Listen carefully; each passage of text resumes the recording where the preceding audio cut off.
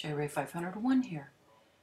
Well, we had so many different developments in the last couple of days, and I'm going to go backwards and revisit these three gentlemen right here.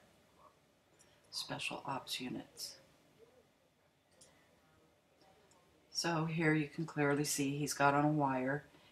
He's got a, a smaller head than what would look like he would have for a jacket that's this puffy, like it's padded or something. His backpack is full, and then allegedly that is the backpack, but you know, who knows? There's no way to know for sure. And then there's these three up against the wall here. And you have this gentleman right here. He's in a navy blue long sleeve shirt.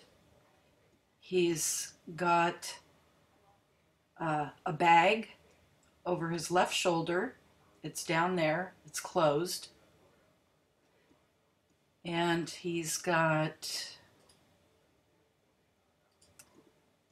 another bag that is a sling over the left shoulder and it comes down and around and then the bag is back here with what? I don't know what this these objects could be right here these two. They both have like a black cap almost like a, a stubby antenna.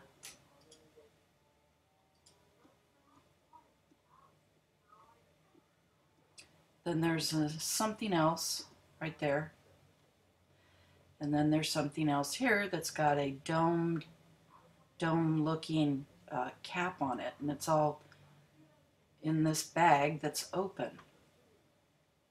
Not sure why he would be leaving those open. And I have no clue what these objects are. Uh, let's see. Tone it up a little bit.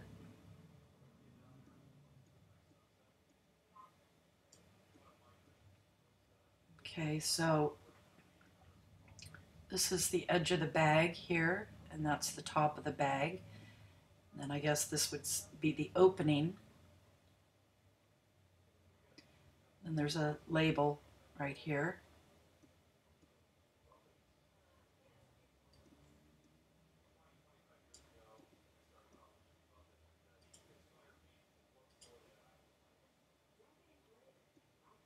Lose all perspective.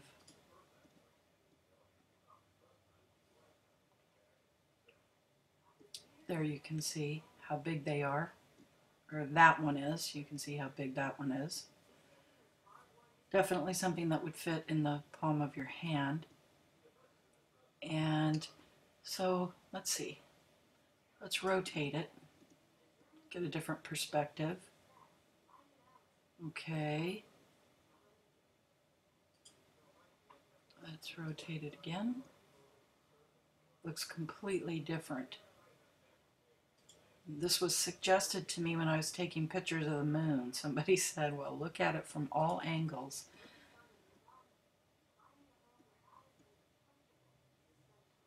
So again, this um, can't really tell.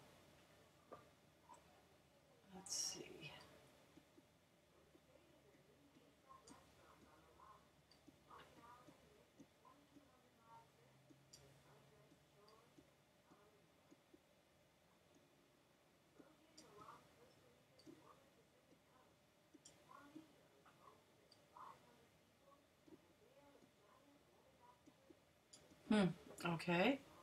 Let's rotate it again. That's back to where it was. So yeah, I, I don't know, have no clue what this is. Have no clue what this is right here.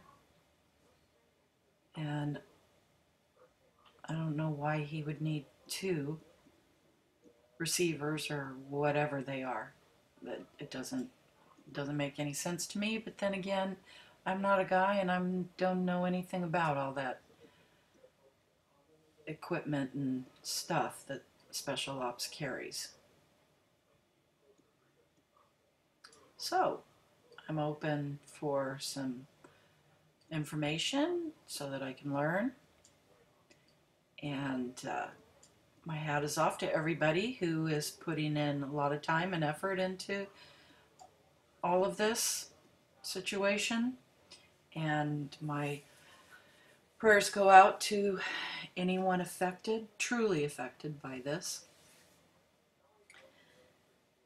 And I just wanted to bring this up because I hadn't seen it addressed.